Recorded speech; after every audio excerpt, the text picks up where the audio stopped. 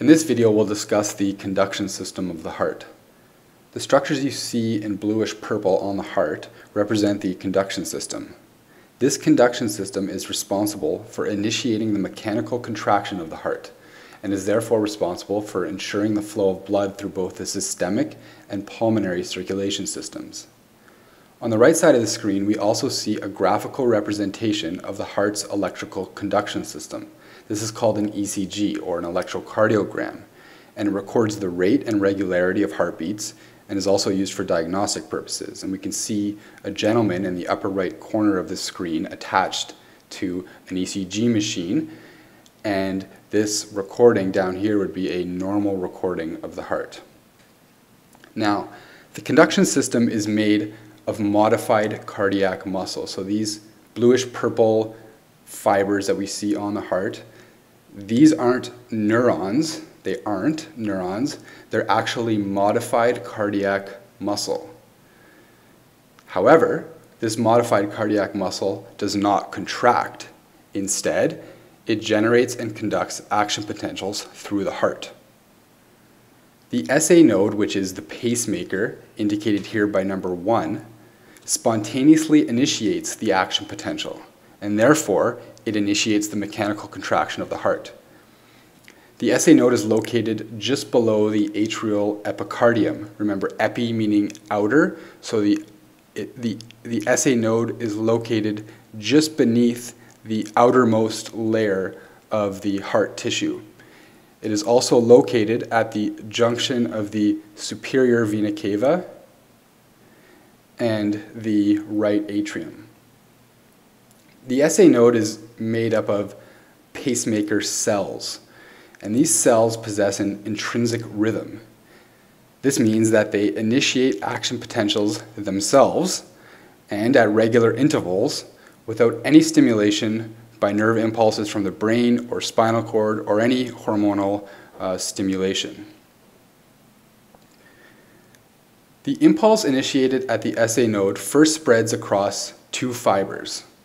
One of these fibers is the interatrial fiber, labeled number 12 here, the interatrial fiber, and this transmits the impulse from the SA node to the left atrium, which is drawn in here. Okay, so the SA node initiates the impulse, the impulse travels along the interatrial fiber to the left atrium. Now it's easy to remember the interatrial, inter meaning between atrium, so between atrium, the interatrial fiber.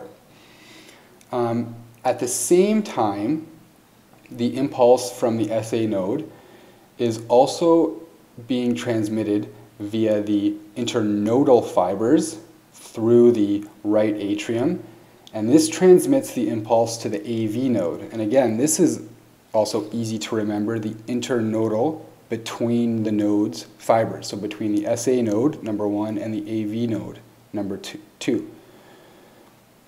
So the conduction of the electrical impulse from the SA node is transmitted through the internodal and interatrial fibers at the same time, and there is complete contraction of both atrial chambers before the impulse reaches the ventricles. So both atria are contracting almost simultaneously, pushing the contents of blood within their atria into the ventricles at the same time. And this is all happening before the ventricles contract.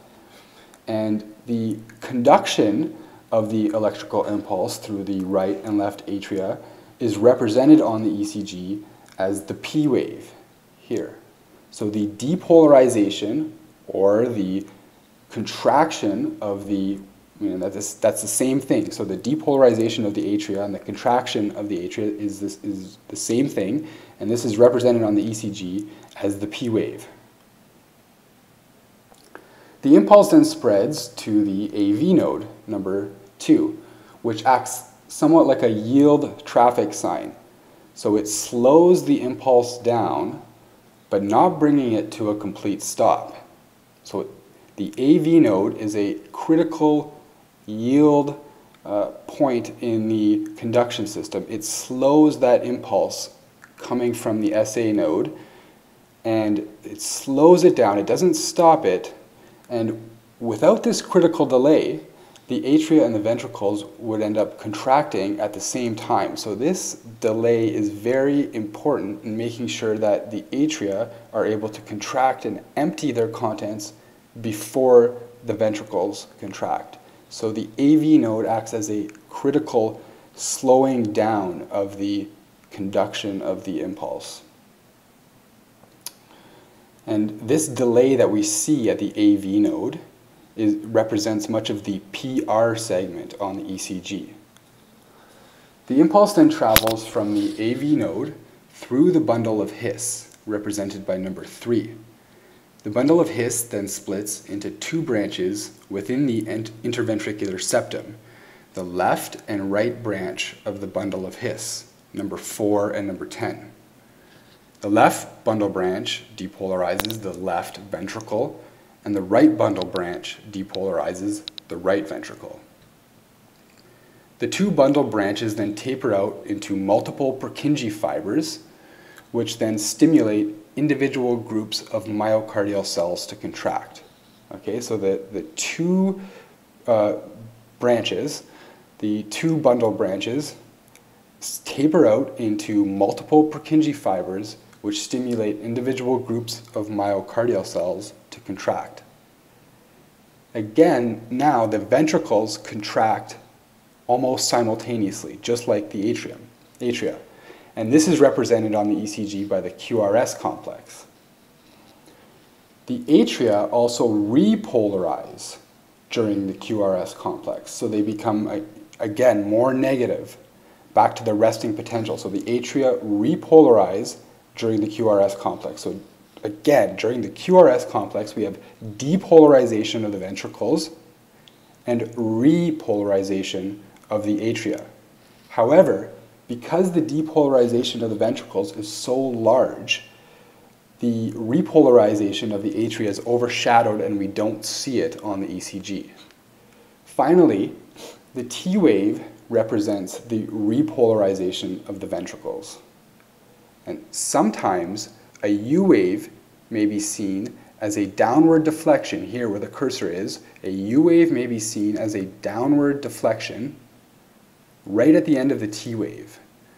This represents late repolarization of Purkinje fibers in the papillary muscle of the ventricular myocardium.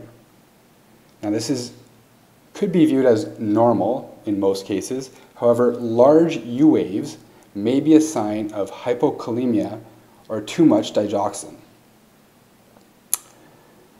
If the SA node fails as a pacemaker, the AV node or even the Purkinje fibers may then uh, act as the initiator of the action potential.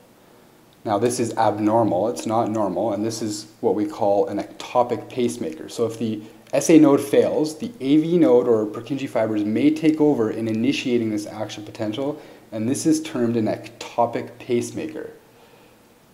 However, their rate of discharge of the, the ectopic pacemaker, if they become the initiator, their rate of discharge is generally much slower than that of the SA node. And it, the, the rate of discharge may go down to 40 to 60 beats per minute.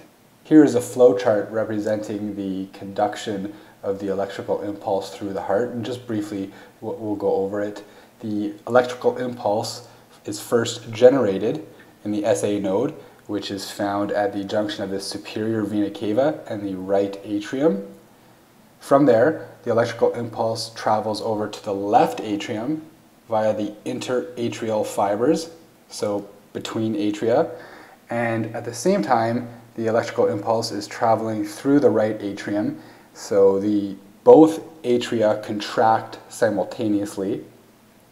The electrical impulse continues on to the AV node where the impulse is slowed down. And from there it travels through the AV bundle of His in the interventricular septum where it splits into the left AV bundle and the right AV bundle of the bundle of His. And the left bundle uh, initiates contraction in the left ventricle and the right bundle initiates contraction in the right ventricle And this happens because the fibers continue on from the left AV bundle branch and the right AV bundle branch to get deeper into the muscle of the heart and through the Purkinje fibers. And these Purkinje fibers then conduct the impulse to groups of myocardial cells. Now, we've finished the uh, content for this video, and what I would like you to do is just do a quick check your understanding. So pause the video and try out these questions. Now that you've tested your understanding, here are the answers. Now, if you got any of these questions wrong, it would be wise to go back, start the video over again, go through it slowly, pause it at uh, certain times, uh, review the diagrams, go back until you get it right. Uh, pause the video now if you want to double check your answers. And this is the reference where I was able to use that wonderful image of the heart.